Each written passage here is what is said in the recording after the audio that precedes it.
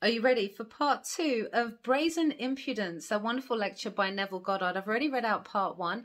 And in that story, he shares, of course, how manifestation works in general, but also he shares his very personal story about how he manifested his specific person against all the obstacles that he had in his way, what to do, how to do this, how he did this. So if you are interested, please do check out uh, part one of Brazen Impudence. And this is going to be part two. Part two is again going to help and comfort a lot of you who are intrigued as to, well, what are we truly? And if any of you are fearful of death or you have family members who are terminally ill at the moment, perhaps you're struggling to manifest health for them, perhaps you did try to manifest health, but they still passed on this is going to give you guys a bit of comfort, hopefully, and help you on your journey. Because I know it's happened to even a few of my clients, and it's like, why, why did this happen?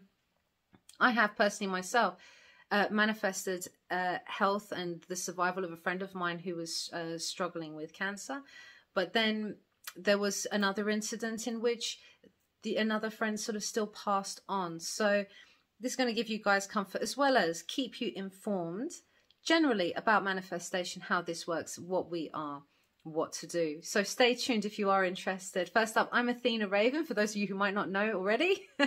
I'm a mental health and manifestation life coach, and I'm here to empower and inspire you on your manifestation journey. So please, please do like, subscribe, really help this channel to grow, help boost this wonderful algorithm that YouTube puts us through. and let's get the message out there to as many people who might need that extra comfort and support. I'm always here to support you guys. Please do share your experiences in the comments. You know, I always read them. I always try to get back to as many of you as I can. And if you'd like any one to one coaching as well, all my details in the description box below. So, part two of Brazen Impudence get yourself comfortable. Here we go. When I say you are all imagination, I mean it. While standing here on the platform, I can, in a split second, imagine I am standing on the outside looking at this building, or in another second, be in London and view the world from there. You say, that's all hallucination, that it's all in my imagination. All right, now let me share with you another experience. I was in New York City when I heard that my 17 year old nephew my sister's oldest child, was in a terminal state of cancer. I knew how she felt and wondered what I could do to comfort her, to show her that the boy she loved was not flesh and blood, but spirit. So while in New York City, I went into my bedroom, closed the door, and lay down on my bed. Knowing that my sister lived in the old family house in Barbados, I assumed I was on the bed where I knew Billy to be. I assumed my sister entered that room but could not see her son, only her brother, Neville. I lost myself in that assumption until my sister Daphne entered the room. Looking startled, she came forward, stared at me, then turned and left the room. When I was satisfied that I had seen her, and she had seen me and not her son. I broke the experience and returned to our living room to be with my wife and a friend who had come for cocktails. Ten days later, I received a letter from my sister in which she said, Nev, I just can't understand it. Giving the day and the hour, which coincided with mine in New York City, she said, I went into Billy's room and I was startled to see you there. I knew you were in New York City, yet I could not see Billy on the bed, only you. I must confess I was a bit afraid, so I left the room, and when I returned, I could see Billy again. So she could see Billy because by then I had departed. If I am all imagination, I must be where I am in imagination.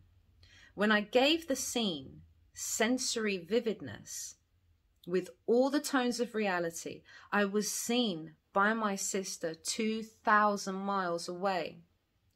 No, I didn't save Billy.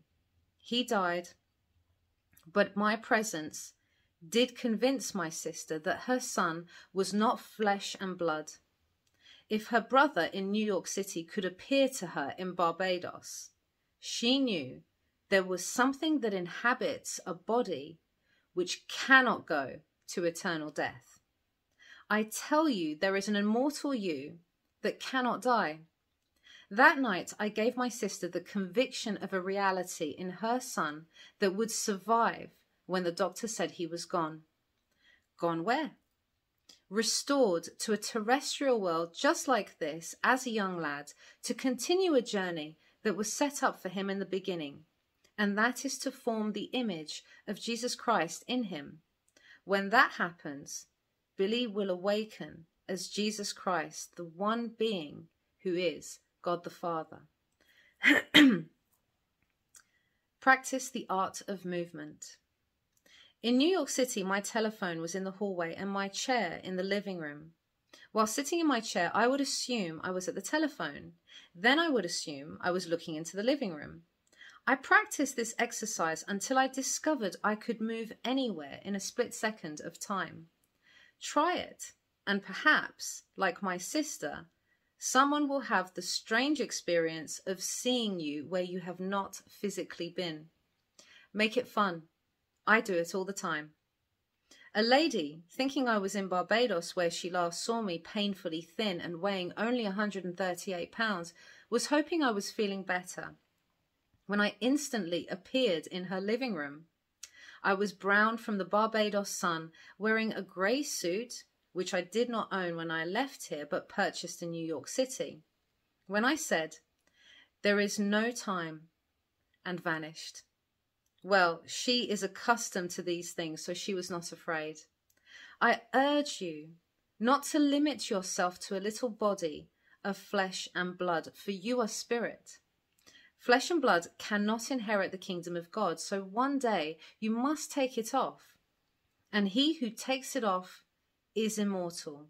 He is your own wonderful human imagination, who is God, the Father of all life. When you learn to live this way, life becomes so exciting. Your days are full and you are never alone. I spend all day at home reading the Bible and meditating. I close my eyes and travel the world. It's fun and educational. It expands me and makes me become more aware of the infinite being that I really am. Now, the two stories from Scripture that I have shared with you show the importance of persistence. When you pray, do not get down on your knees and pray to any unknown God. Instead, go to bed and dare to assume you are now who you want to be. Fall asleep, assuming it is true, and you will be on the road to success. For this is how things are brought into being. Right now, imagine something lovely for another. They need never know who was the cause of their fortune, but you will. My first wife did not know I was the cause of her action. Had she thought that her act would mean my freedom and her disgrace, do you think she would have done it? She moved under compulsion, and I was the compelling force. When you realize this, you forgive everyone for everything they have ever done because you may have been the one who was the cause of their action. Blake said, Why stand? We are we he, we here why stand we here trembling around, calling on God for help, and not ourselves in whom God dwells? William Blake.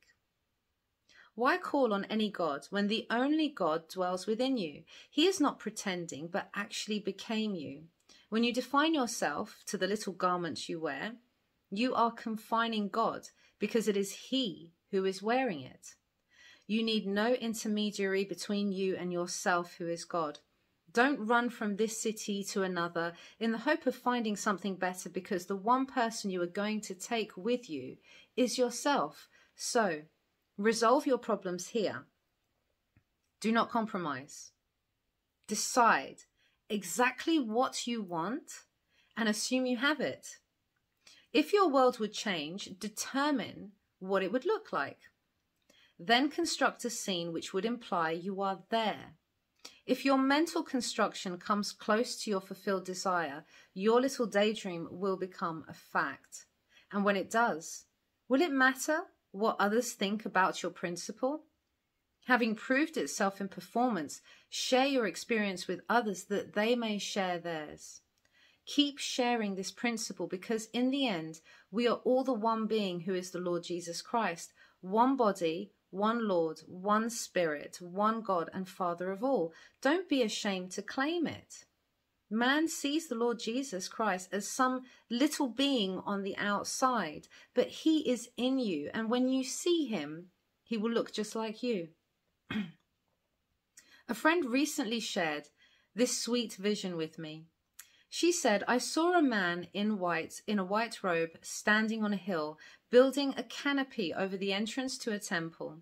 As I approached, I could see that the stripes used for the canopy were translucent green, and I remarked how radiantly beautiful they were.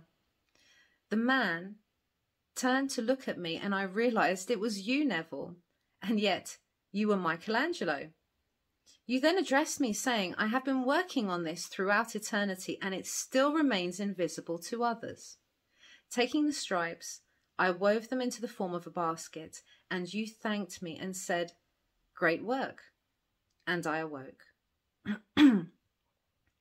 that was a beautiful dream.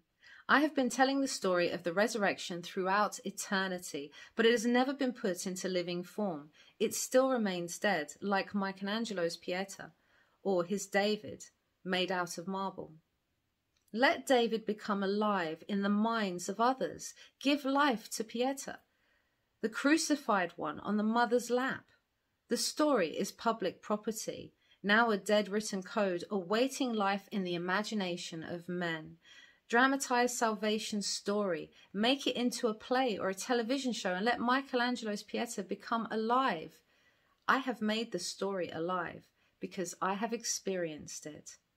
Michelangelo, with his tremendous know how of the human form, created the dead forms made of marble. I came along, unable to mold a stick, to find the dead forms taking on life in me.